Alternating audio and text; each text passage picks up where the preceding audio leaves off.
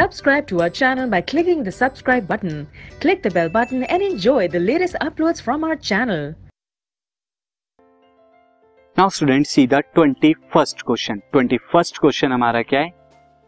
Question is the volume of 500 gram of a substance is 20 centimetre cube एक 50 ग्राम 500 नहीं 50 ग्राम substance का जो है वॉल्यूम कितना है? 20 centimetre cube if the density of water one gram per centimetre cube है।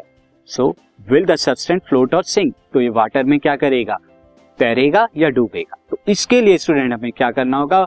इसकी डेंसिटी निकालनी सिंस डेंसिटी की अगर मैं बात करूँ density of substance density of substance क्या होता है?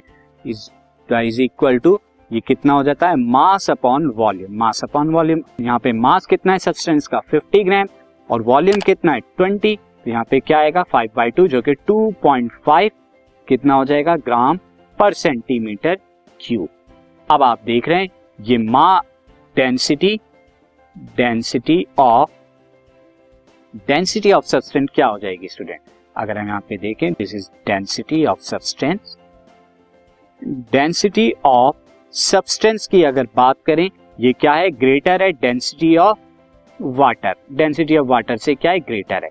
क्योंकि इसकी है 2.5 और इसकी है 1 तो अगर डेंसिटी ज़्यादा होगी वाटर से तो क्या होगा? जब हम वाटर के अंदर इसे सिंक करेंगे तो सब्सटेंट क्या करेगा? इमर्स करेंगे सब्सटेंट नीचे की तरफ़ सिंक हो जाएगा।